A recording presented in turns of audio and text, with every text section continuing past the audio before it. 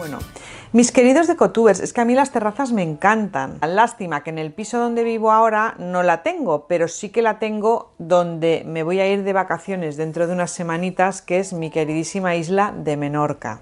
Hoy estoy muy contenta porque te traigo el tercer vídeo de la serie sobre cómo decorar tu terraza pequeña, balcón pequeño o patio pequeño. Realmente tener una terraza acogedora en la que nos apetezca estar es media vida y a mí personalmente hasta me gusta poder disfrutar de ella todo el año y me gusta casi más en invierno que en verano porque en invierno, eh, pues cuando tienes un día o una mañana o un mediodía soleado, ese calorcito te sienta fenomenal y no te agobia para nada y en cambio en verano te plantificas en una terraza buscando la sombra y no disfrutas tanto del sol porque te da mucho calor. En esos casos lo que disfrutas es de una maravillosa sombra si has conseguido tenerla. En los dos vídeos anteriores, como sabes, y si no lo sabes, te los dejaré en este vídeo y por supuesto he creado una lista de reproducción donde incluyo todos los vídeos de esta serie que se llama Terraza Pequeña. Como te decía, en los dos vídeos anteriores te hablé de los 11 muebles que debes conocer a la hora de decorar tu terraza y de los 13 accesorios que no pueden faltar en la decoración de tu pequeña terraza. Pero mm, déjame que te diga un secreto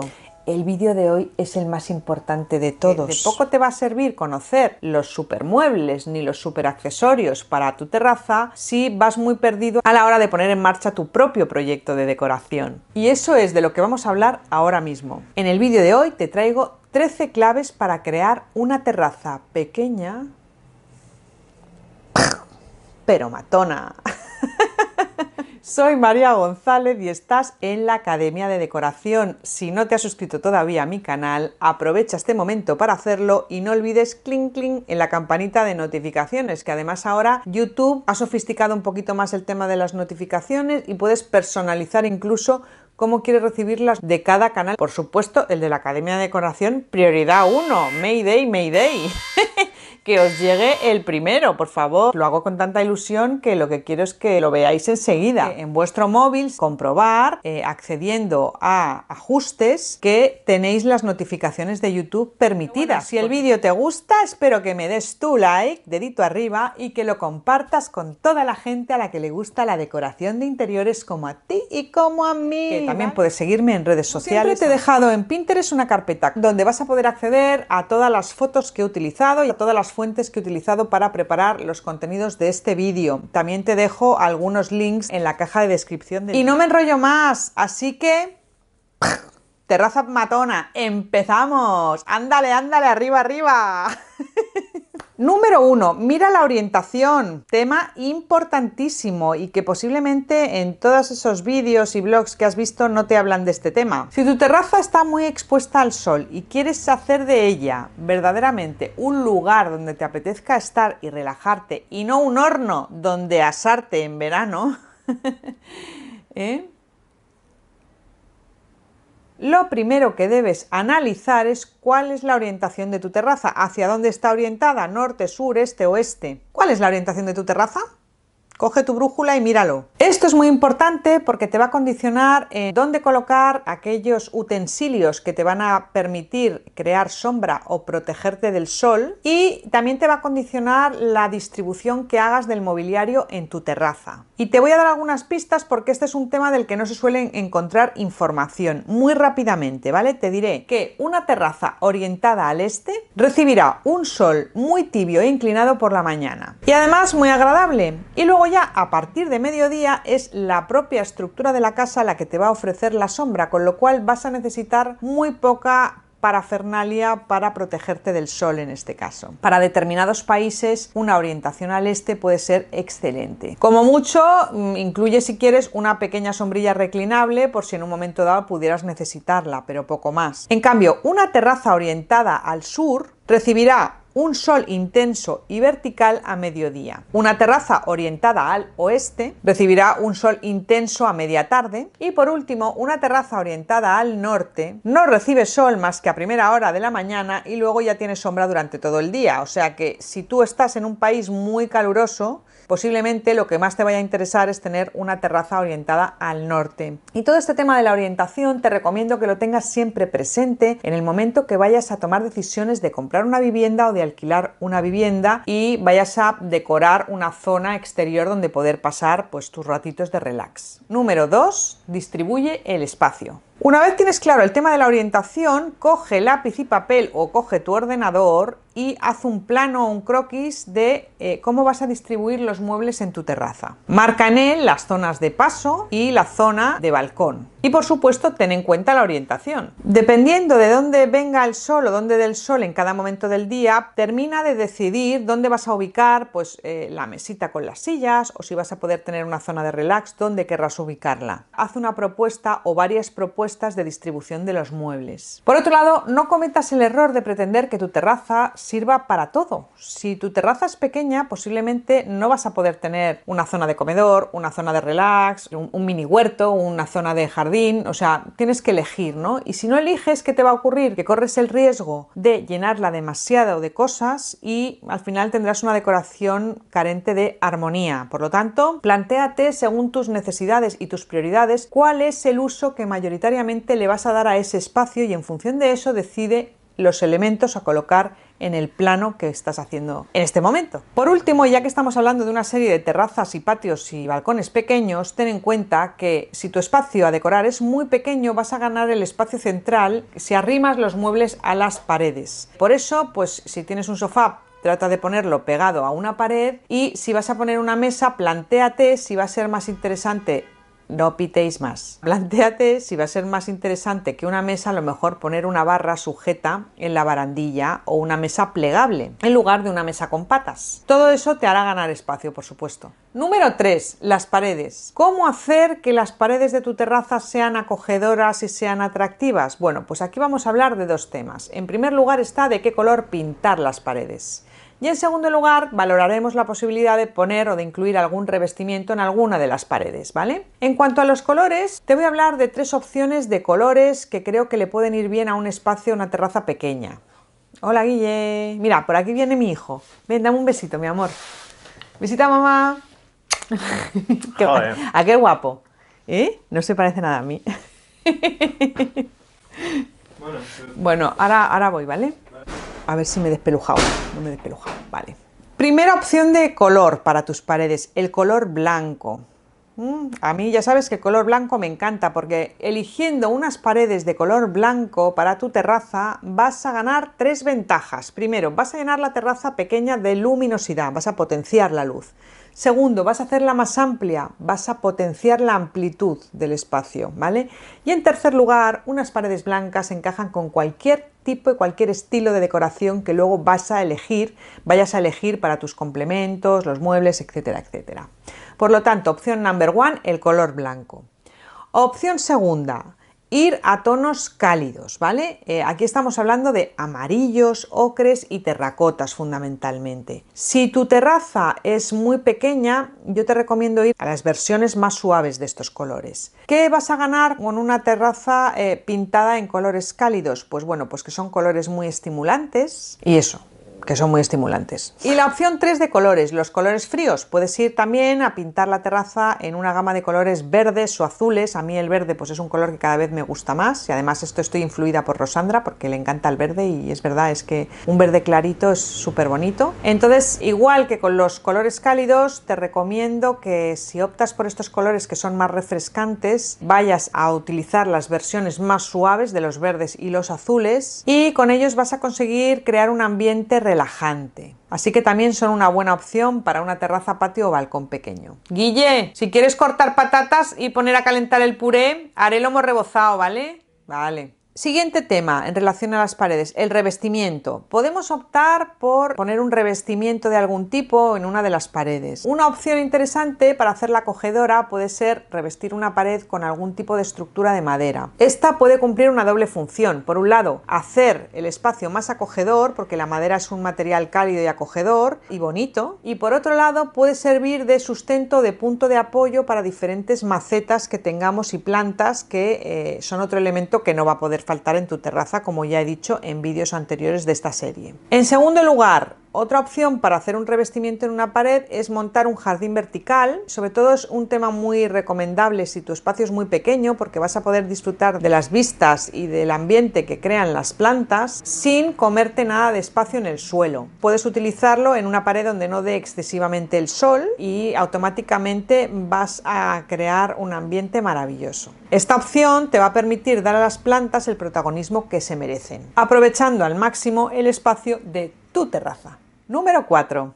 Crea intimidad. Claro, si estás en un edificio con un balcón que mm, sales al balcón y te están viendo cuatro vecinos, pues como que no apetece estar. Entonces hemos de pensar también de qué manera y con qué accesorios vamos a contar para crear esa intimidad necesaria para poder disfrutar de momentos de relax en tu terraza. ¿Qué podemos utilizar? Por un lado podemos utilizar plantas, eh, poner maceteros en el suelo o todo un macetero enorme en, un lado del suelo que divida con el piso de al lado, por ejemplo, si es un balcón, unas plantas bien altas con cañas incluso, puede ayudarte a crear ese espacio de intimidad que necesitas en tu terraza. Para crear intimidad, otra opción muy interesante es eh, cubrir o revestir todo lo que es el balcón con cañas cañas de mimbre que puedes encontrar en diferentes establecimientos. Las cañas de mimbre tienen múltiples ventajas. Vas a poder adaptarlas al tamaño de tu terraza de una forma muy sencilla. Son un elemento económico y como tiene el toque del mimbre también ayudan a crear un ambiente acogedor. Vale. Otras opciones con las que puedes jugar son los stores y las cortinas. Por ejemplo, puedes eh, poner stores en los laterales de tu terraza o en la parte frontal, si es que tienes un edificio justo enfrente, de tal manera que eh, tapen un poquito. Eh, los stores, pues por ejemplo, puedes utilizar venecianas de madera, stores de bambú y también los que me encantan, que ya os lo he comentado más de una vez, que son los stores de esparto, que además de darte intimidad te van a aportar sombra, luego lo comentaré. Otra idea interesante puede ser colocar un biombo de madera en aquella zona que necesita de mayor intimidad. Ahí puedes ir a biombos antiguos, biombos típicos de rejilla, biombos con diseños modernos. El caso es que los vecinos no te no te vean. Y a la vez un biombo puede ser un elemento muy bonito para integrar en tu decoración y como no, un punto de sujeción para tus macetas y tus plantas. Número 5. Un suelo acogedor. Crear un suelo bonito y acogedor puede ser uno de esos elementos clave a la hora de decidir la decoración de tu terraza o tu balcón. Para lograrlo puedes optar por distintos tipos de revestimiento. Yo te voy a comentar los que a mí personalmente me gustan más, pero lógicamente habrá otras opciones y estas no son las únicas que puedes utilizar. Por un lado, una opción es ponerle césped artificial, porque el césped artificial tiene muy fácil mantenimiento, también le puedes pasar el aspirador, lo puedes cepillar, lo puedes regar, etc. Y además te va a hacer las veces de una alfombra y puedes convertir el suelo también en una zona de, asiento si quieres. Otra idea sería forrar el suelo de madera. Hoy en día existen eh, sistemas de madera que tú mismo puedes colocar, como algunos que te estoy enseñando, y que te van a hacer una terraza automáticamente más acogedora por haber incorporado en el suelo un elemento como la madera. Y en tercer lugar, un elemento que me encanta para revestir los son las baldosas hidráulicas, suelos de baldosa hidráulica. Hay diseños preciosos y ya hacen de tu terraza algo que se sale de lo normal. Porque una terraza con el suelo forrado de césped o de madera, con perdón, verás muchísimas. Pero un balcón con un suelo de baldosa hidráulica no se ven tan a menudo y vas a poderlo personalizar muchísimo con los colores que quieras incluir en tu decoración. Vas a poderlo integrar con la paleta de colores fenomenal. Aquí te enseño algunos muy bonitos, pero vamos, solamente tienes que ir a un establecimiento donde vendan este tipo de baldosa hidráulica, eh, la auténtica o la de imitación, que es maravilloso también y a un precio muchísimo más asequible, y vas a crear una terraza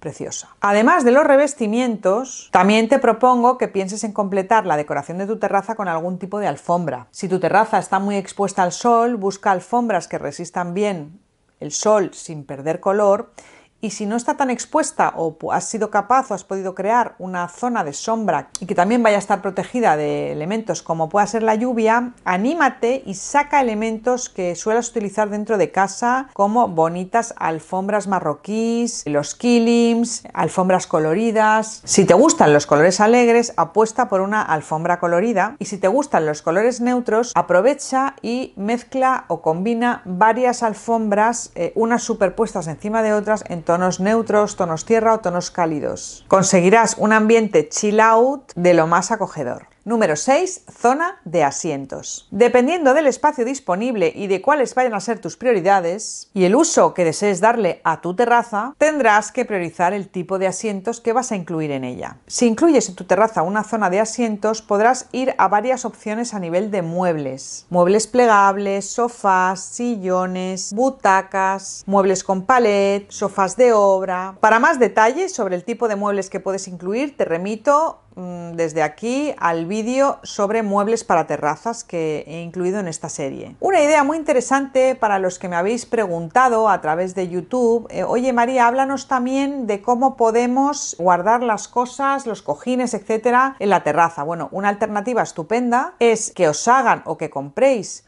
un arcón si os, lo hacen a medida, perfecto, porque podréis aprovechar muchísimo más las dimensiones de vuestra terraza o balcón. Os hagan un arcón con tapa que podáis utilizar para que cuando no estáis fuera o las temporadas que no utilicéis tanto la terraza, poder guardar dentro del propio arcón todo lo que son cojines, alfombras y demás, y de esa manera eh, aprovechar doblemente el espacio. También podéis guardar en ese arcón otros, otros utensilios que utilizáis normalmente en la terraza, como puedan ser farolillos, como puedan ser guirnaldas, etcétera, etcétera. Número 7. Crea un rincón de relax en tu terraza. Si quieres incluir en tu terraza un rincón de relax donde poder descansar, meditar, leer, lo que más te apetezca hacer y las dimensiones de tu terraza te lo permiten, te recomiendo utilizar o una hamaca colgante o una silla colgante. Otra opción interesante sería poner un sofá tipo chill out que te permita estirar las piernas. Si lo prefieres, también puedes ir a los típicos sillones con respaldo reclinable, tipo tumbona, pero sin ser tumbona. Por ejemplo, las conocidísimas y maravillosas sillas Butterfly o las sillas Acapulco. Y a mí, personalmente, lo que me vuelve loca y que me encantaría poner en algún momento son estos esta especie de sofás cama de forja que le dan un aire rústico y romántico a la vez, que puedes además jugar con un montón de cojines y plates bonitos y vamos, yo es que en un sofá de estos a la sombra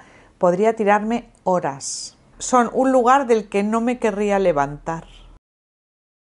Número 8. Incluye elementos únicos. Para dar un golpe de efecto a tu pequeña terraza, Nada mejor que incluir elementos que sean únicos. Y con elementos únicos me estoy refiriendo a que no tienes por qué renunciar a poner un mueble antiguo en tu terraza. Porque una antigüedad, aunque solo sea una, le va a aportar muchísimo carácter y personalidad y a la vez va a ser un elemento que va a arrancar ese wow ¿no? que estás esperando cuando alguien ve tu terraza. Ahí puedes incluir una consola antigua, un baúl, una escultura, eh, un cuadro antiguo con un marco bonito, un espejo, cualquiera de estos elementos que te estoy diciendo o incluso una pequeña mesita auxiliar antigua le va a aportar carácter y personalidad a tu terraza. Por lo tanto, valora incluir alguno de ellos. Aquí puedes mirarte el vídeo de muebles que no pasan de moda, de los más hub de la decoración, que es otra serie que hice. Número 9. Utiliza el efecto de lo inesperado. La sorpresa que aporta lo inesperado es algo con lo que también puedes jugar en tu terraza. Por ejemplo, mm, no te esperas en encontrar en una terraza una estructura de una antigua chimenea. No te esperas encontrar una escultura antigua. Tampoco te esperas encontrar cuadros antiguos con marcos bonitos labrados. Y no te los esperas porque son elementos que normalmente incluirías en el salón de tu casa, pero no en tu terraza. Entonces, para conseguir este efecto de lo inesperado, lo que te invito a hacer es a que conviertas tu terraza en una extensión de tu salón, que lo abras totalmente si es posible y que des continuidad a un espacio con el otro. Y eso incluye sacar fuera elementos que son típicos o propios de la decoración de interiores. La clave está en que te atrevas a sacar hacia afuera lo que normalmente está dentro de casa. Número 10. Los textiles. Presta atención a los textiles y no te olvides de incluirlos en tu proyecto de decoración porque le van a aportar color al espacio, es un elemento que puedes aprovechar para aportar ese color que tu espacio necesita. Si es que quieres un espacio con color, porque oye, hay gente que le gusta tenerlo todo blanco y, en maderas naturales, también es muy respetable y muy bonito. Aquí te recomiendo utilizar elementos como cojines étnicos, alfombras marroquíes, cortinas de macramé, mantas de fibras naturales, mantas de pelo. Estos son algunos de los elementos que no pueden faltar en la decoración de tu terraza. Si quieres profundizar en esto, te remito a mi vídeo sobre los accesorios que debes conocer para decorar tu pequeña terraza o patio. Número 11. La iluminación. Es otro de los aspectos que debes cuidar en plan de decoración de tu pequeña terraza. Y en primer lugar te diría que distribuyas los muebles en la terraza pensando en aprovechar al máximo la luz natural dependiendo de lo que vayas a hacer en cada momento del día. Pero aparte de eso, no te puedes olvidar de la luz artificial. Entonces, te diría como idea general que para la luz vas a tener que tener en cuenta varios tipos de iluminación. La luz general, la luz puntual y la luz ambiental. Para la luz general, que es la que vas a tener eh, accionando el interruptor en el techo, mi recomendación es que apuestes por una o dos lámparas de mimbre. También incluye elementos de luz puntual, que son los que te van a dar iluminación en zonas concretas, por ejemplo, si vas a cenar o vas a leer en tu terraza. Para esto puedes utilizar diferentes elementos, como puedan ser farolillos, como puedan ser luces solares tipo aplique, que las hay muy chulas. Y por último, las guirnaldas, también pueden ser un elemento que te aporte esa luz puntual. Y por último, no te olvides de incluir elementos de luz ambiente y para eso puedes utilizar velas, colocar velas en distintos distintos puntos de luz y colocar en algunas de tus macetas luces solares pequeñitas. Número 12. Número 12 puertas de acceso y ventanas. La puerta de acceso a tu terraza es un elemento que también podrías o deberías integrar en tu decoración, porque además de ser tu zona de paso, puede ser la zona de paso de millones de insectos, entre ellos mosquitos, que quieren entrar en tu casa. Entonces, colocando unas cortinas en la puerta de acceso a tu terraza, vas a cumplir una doble función. Puedes colocar unas hermosísimas cortinas y embellecer todavía más tu terraza y a la vez impedir la entrada masiva de bichos e insectos en tu casa. Algunas opciones para resolver esto que personalmente son mis favoritas, pero que no son las únicas, ¿vale? Yo colocaría en estos casos. Unas cortinas de esparto, me encantan. Es una cosa muy en tendencia y, bueno, lo he visto ya en varios restaurantes incluso y me ha encantado. Cortinas de malla de mosquitera, evidente. Cortinas ligeras de algodón o lino que eh, pues eh, de alguna manera protejan pero también tengan el movimiento ese que aporta la brisa del, veranito. ¿no? Y por último las cortinas de, de macramé en color crudo que también me encantan y son súper bonitas. O sea, son un elemento también que tiene mucho movimiento, que tiene tonos naturales y que vas a poder integrar muy bien en la decoración de tu terraza, sobre todo si estás utilizando elementos como la madera. Con cualquiera de ellas conseguirás una terraza todavía más especial. Y punto número 13, protege tu terraza del sol y también un poco de la lluvia, pero sobre todo del sol. Tus Aliados para proteger tu terraza de las inclemencias del tiempo son varios, o sea que puedes tenerlos en cuenta y elegir el que más se adapte a tus necesidades. Vamos a hablar un poquito de cada uno de ellos. En primer lugar está la sombrilla. Si has podido elegir la orientación de tu terraza y lo has hecho correctamente, eh, posiblemente solamente vas a necesitar tu sombrilla en determinados momentos del día como mucho y en una zona pequeña. Entonces la sombrilla sería tu elemento ideal para protegerte del sol. Otro es el toldo. El toldo es ideal para las personas que necesitan en su terraza una sombra más densa y más grande, más amplia. Especialmente terrazas orientadas al sur, donde al caer el sol es cuando pega fuerte, entonces necesitas que el toldo baje más y es la opción ideal. En tercer lugar estarían las pérgolas, sobre todo los que tenéis terrazas en áticos o tenéis patios. A mí es eh, quizá la opción que me parece más bonita, lo que pasa que no siempre la podemos tener y si además en ella ponemos unas plantas trepadoras puede quedar divina de la muerte, preciosa. Son ideales para conseguir un ambiente campestre y natural sin renunciar a una buena sombra. Requieren paciencia y cuidado, pero compensa con creces. Otra opción son las velas de sombra. Son una buena alternativa y muy económica para crear espacios de sombra y además pueden aportar un diseño y un look moderno a tu terraza. También tenemos los stores. Puedes utilizarlos o bien en balcones o bien como complemento a la sombra que te vaya a dar la pérgola. Aportarán una dosis extra de buena sombra y como ya os decía mis preferidos son los de esparto que cuanto pueda me pongo unos en mi casa en Menorca porque es que estoy enamoradísima de ellos, ya he llamado y todo para preguntarlo. Dan una sombra divina, pueden estar todo el año colgados, si se mojan no pasa nada siempre y cuando luego los dejes secar desenrollados, es un elemento que te puede durar años y años y años. Otro elemento que puedes utilizar son las cortinas ligeras, ¿eh? que le darán un poco de movimiento a tu terraza, hemos visto ya en algún vídeo anterior de, de esta misma serie. Y por último, para los que tenéis un patio, he dejado para el final la sombra mejor y más natural, que es la de los propios árboles. Es decir, si podéis optar a tener grandes maceteros con árboles o una zona donde podáis incluir algunos arbolitos que os den buena sombra, arbolitos en este caso preferiblemente de hoja perenne, pues para que tengáis la sombra todo el año, pues oye, genial, es la mejor opción y la más natural de todas. Y con esto hemos terminado ya las 13 claves para decorar una terraza pequeña pero matona. Espero que el vídeo te haya no gustado, no, no, encantado y que quiero ver esos deditos arriba ahora mismo y sobre todo que no olvidéis que compartiendo este vídeo a vuestros conocidos y amigos que les gusta la decoración me ayudáis mucho y ayudáis muchísimo a que yo siga haciendo vídeos y a que este canal continúe, ¿vale? Así que espero y agradeceré muchísimo vuestro apoyo en esto y venga, va, a compartir el vídeo, ¿vale? Y bueno, termino diciéndoos que ya muy prontito vais a tener disponible el consultorio de decoración en www.academiadecoración.com, que espero que visitéis, ya os avisaré del día del lanzamiento, pero es ya, ya, ya, ya, ya, ya. Y que también voy a lanzar dentro de muy poquito un primer curso para vosotros, que es un curso para aprender a combinar cojines.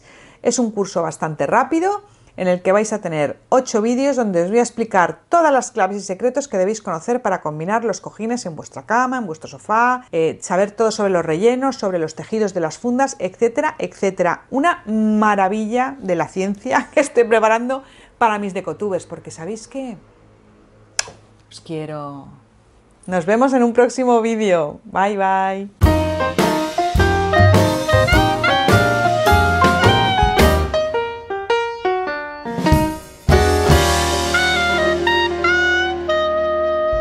También puedes seguirme en redes sociales, aunque mi, canal principal de... Aunque mi... aunque mi canal principal de comunicación es YouTube. Así que no me enrollo más. Así que no me enrollo más. Empezamos. Así que no me enrollo más. Empezamos. o sea, vas a ganar básicamente que son estimulantes, ¿vale? Y, que le van bien a una terraza pequeña también. Número 4. Número 4. La, la, la, la, Vale. Bueno, pues ya hemos hecho espacio en la tarjeta de memoria de la cámara. Las cañas de, ba... Las cañas de bambú no. En aquella zona, un biombo de madera. Colocar un biombo de man... ¡Uy! Nada mejor que incluir elementos... Motos no, ¿eh? Nada mejor que incluir elementos que sean únicos. Y nada, muy prontito vais a tener... Espera, ¿eh? Ay, que me pica la nariz muchísimo, oye.